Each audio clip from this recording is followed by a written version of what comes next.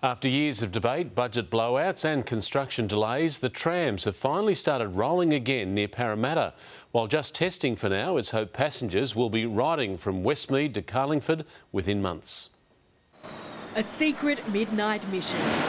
Trams on the tracks in Western Sydney for the first time since 1943. We are bringing the trams back to Parramatta. The $2.8 billion Stage 1 will connect Westmead to Carlingford. Construction of all 16 stations along the 12 kilometre route now complete, with slow speed testing underway between Dundas and Carlingford before extending into the Parramatta CBD in the new year. A chance to test not only the trams but pedestrians too. Trams will be moving now, and so they need to be uh, looking up and aware. Once up and running, trams will arrive every seven and a half minutes. Estimated to start with 30,000, maybe 28,000 people on this service from, I reckon, day one. With testing now underway, the only thing missing is staff. The government looking to recruit more than 80 drivers and network controllers by the time passengers are welcomed on board. Initially slated to open in March this year, budget blowouts and construction delays